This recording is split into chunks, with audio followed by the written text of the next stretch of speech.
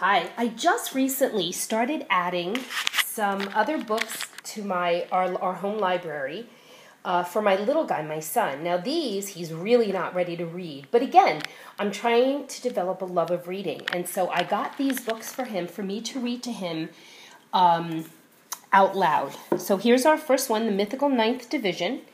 Operation Robot Storm. So basically, this is a military Yeti division um, just kind of reeks of boy fun, right? So they're, you know, these guys who are working behind the scenes and nobody knows about them and they save the world. And if this doesn't speak to our young boys' hearts, I don't know what does.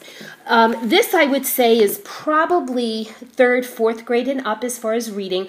I'm using this as a read aloud for my little guy um, just for attention and for auditory learning, um, for some practicing. Reading aloud to your children helps to strengthen their auditory processing. And so, this is something that I had gotten for him for that reason. This is a great set of books for boys of all ages. Um, it really does look like a good series. We started reading it, and you know, summer came upon us, and we were not as faithful with it as I would have liked. But